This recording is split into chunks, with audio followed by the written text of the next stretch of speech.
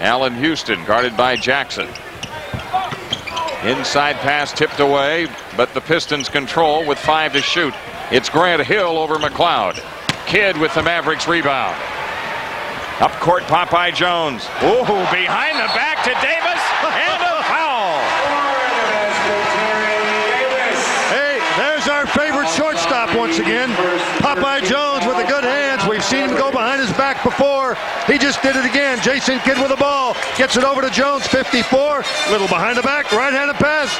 Davis catches it and finishes.